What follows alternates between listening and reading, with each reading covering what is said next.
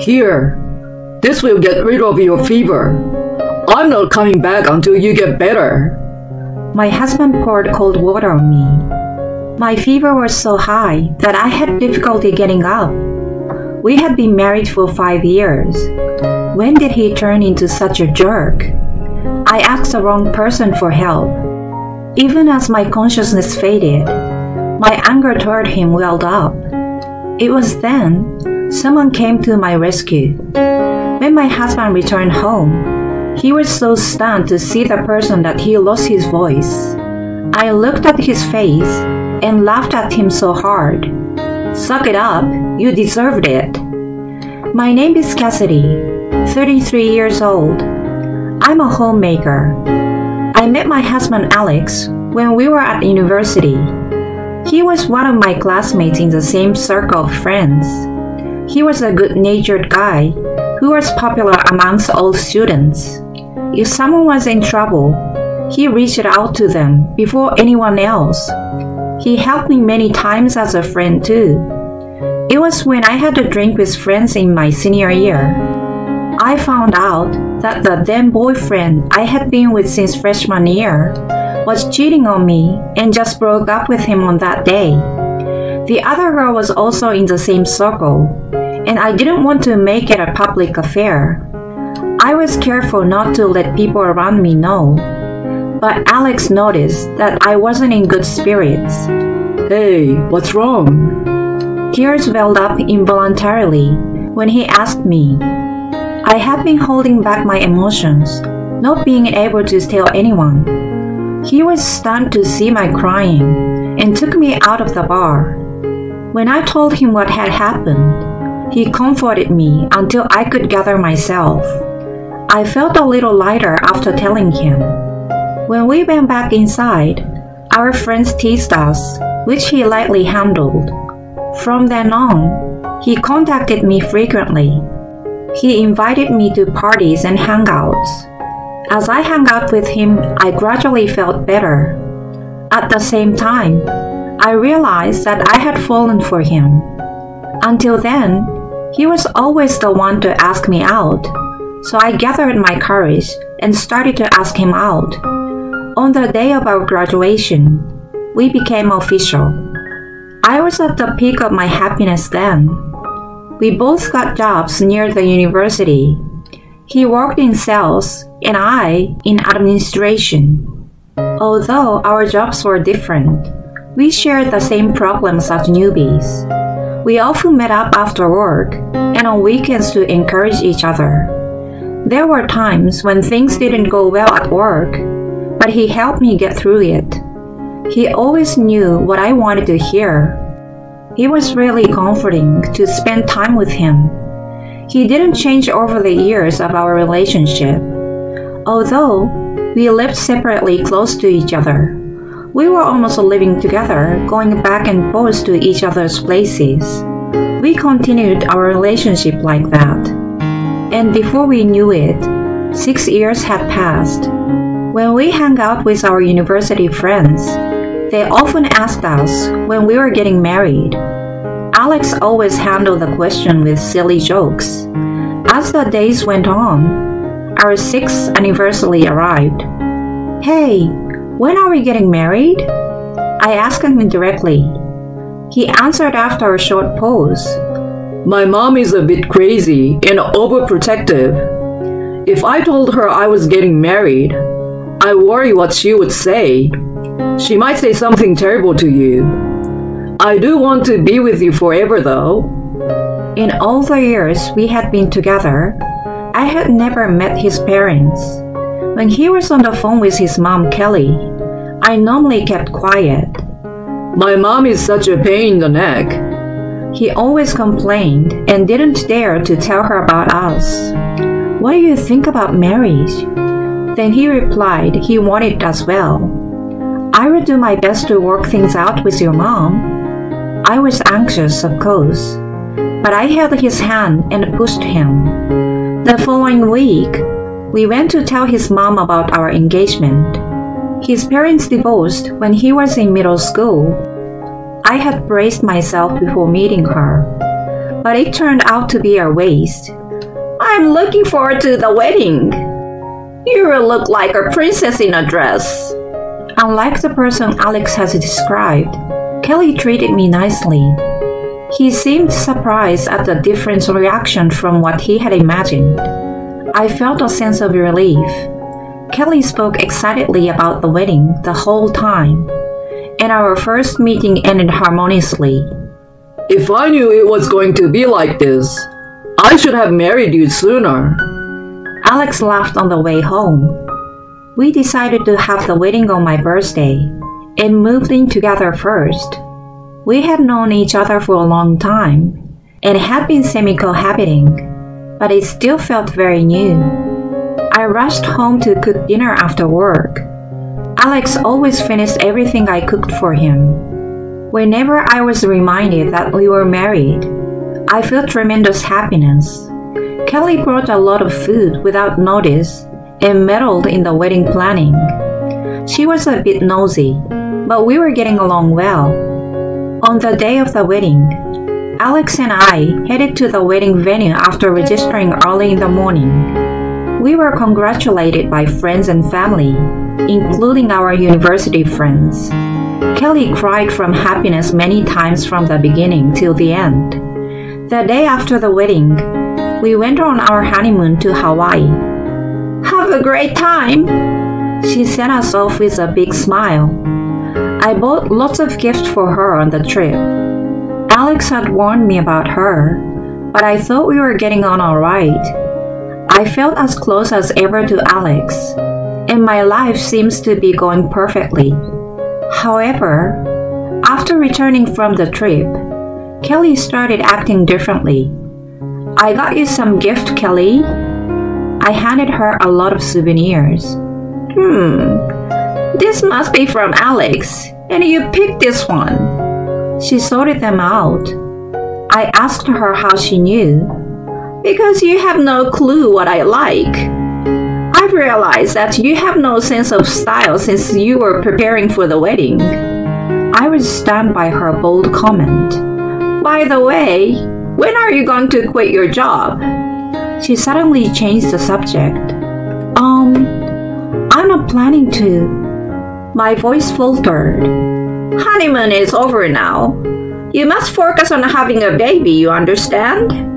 You gotta do what you're expected to, right, Alex? He looked down without saying anything. It had been six years since I started working. I was entrusted with more work and came to appreciate it more. Even after marriage and having children, I was planning to keep my job. I couldn't understand why I had to quit. Why didn't Alex say anything? Let me think about it. You're 28, aren't you? You don't have much time to think about it. She almost scolded me. I left her house without coming to a conclusion in the end. Hey, how can you didn't help me out? I asked Alex on the way home. Once she starts, she won't listen to me anyway. You just have to give up. Huh? Why should I give up? He didn't answer me, but just furrowed his eyebrows. It was hard to believe that we were joyful from our honeymoon trip just a few hours ago. We returned home in heavy silence. Since then, Kelly started calling me every day. Cassidy, have you given your resignation yet? There is a good OBGYN, and I want you to see him as soon as possible. I almost became neurotic every time I spoke to her. I finally had enough and decided to resign from my job after telling my boss what had been going on. I cried in frustration on my last day. I thought it was going to satisfy Kelly, but it didn't at all. Come on, I'm going to teach you every one of the chores. She came over every day. She instructed me in detail about the housework I had been doing half heartedly. I was asked if I was pregnant every day. There was usually a knock at the door within an hour after Alex left for work. The mere hour before she showed up was the only time I had for myself. After Alex returned home, The three of us had dinner together, and then she finally left. Such was my life. One night, after Kelly left, Hey, Hum, I don't want your mom to come over every day. Can you tell her? I pleaded with Alex. You cook better now, thanks to my mom. He steered the conversation away every time. Stress built up day by day, and I started to lose weight. There was no way I could have conceived in such a state. After three years like that, I reached my limit. A child is a godsend. It's not something that's given just because you want it. Stop coming here every day.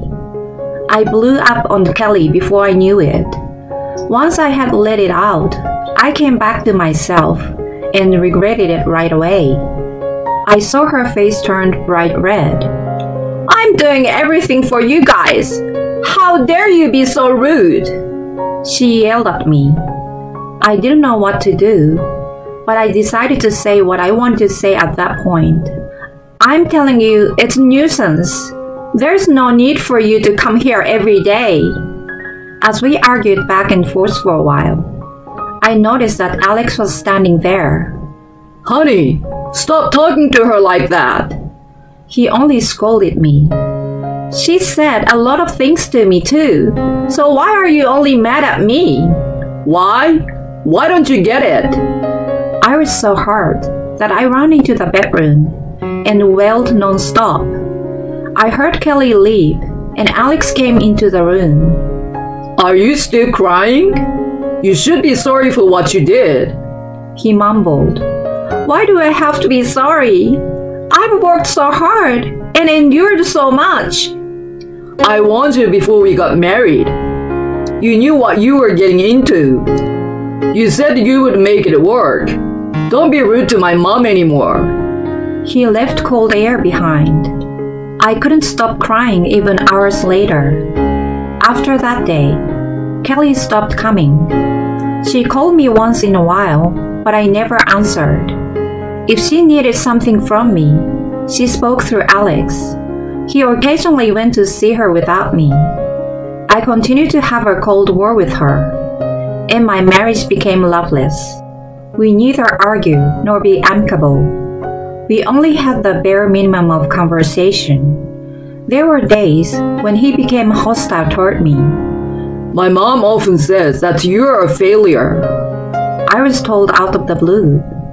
He came home later and later every day, and sometimes he didn't even bother to come back. It continued for a while, and I started to think about getting a divorce.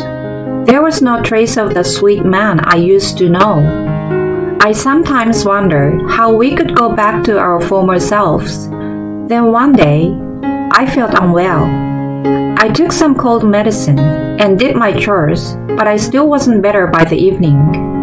I was going to take a little break on the sofa, but I ended up falling asleep. Then I was woken by Alex, who came home from work. How come there's no dinner? I had been out for quite a while. My body felt hot, and I was quite feverish. I apologized and tried to get up, but I wobbled back down. Alex only looked at me coldly without any concern. I think I have a high fever. Can't you take me to the doctor? I asked him in a daze. Here, let this cool your fever. I'm not coming back until you're better. He poured cold water on me from a bowl. I'm going out for a drink if there's no dinner. He left me behind. I was pretty furious, but I couldn't say anything back and just lay there in dampness. Sometime later, when the dawn broke, Alex came back reeking of alcohol. I'm back. Have you gotten better? I heard his cheerful voice coming from the hallway. The moment he entered the living room, Kelly slapped him across his face. He sobered up immediately and froze there. Where have you been? Speak up! What are you doing here? He seems to be confused and freaked out at the same time, which made me laugh. I asked her over. You left me with a high fever, so she helped me. He was speechless. A few minutes after he left, my phone rang. I assumed it was him calling to apologize. I couldn't get up, so I crawled on the floor to grab my phone. When I answered it, I was surprised to hear Kelly's voice. Kelly, please help me. I squeezed my voice out. Within 10 minutes, she was at my side and took me to the emergency. I'm sorry to bother you. When I apologized to her, she replied, You're not feeling well, don't worry. I was immediately put on an IV drip and felt a little better afterward. Since I had no other symptoms, the doctor let me go. On the way home, Kelly bought a lot of electrolyte drinks for me. You've been so kind. I thanked her for her help. It's normal. We're family. When we arrived home, I told her about the rough patch Alex and I were going through. She was disgusted and also disappointed by his action. Alex, you owe her an apology. She scolded him, but he tried to excuse himself. She's been a drama queen. It's just a fever. She's overreacting. He sobbed like a little kid. Kelly sighed loudly. You were quite young, but don't you remember? It's just like when I decided to divorce your father. You must have taken the same bad traits from him. Cassidy, you want a divorce, don't you? Yes, I can't be with him anymore. I answered honestly. Are you serious? You don't even work. You can't live without me. He countered with a ridiculous argument. What are you talking about? I just have to get a job again. I'm so sorry. Please reconsider. He finally apologized. It's too late.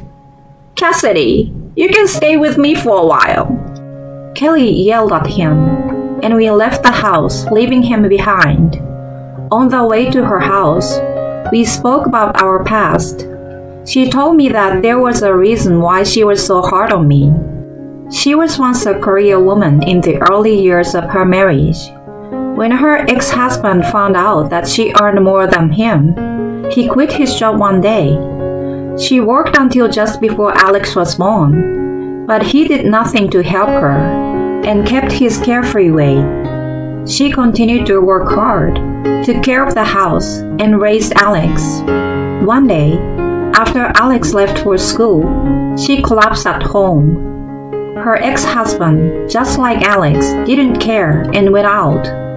When Alex, who was still in middle school, came home, he called an ambulance and saved her. When they were going through a divorce, her ex husband criticized her for being a workaholic and didn't care about her family.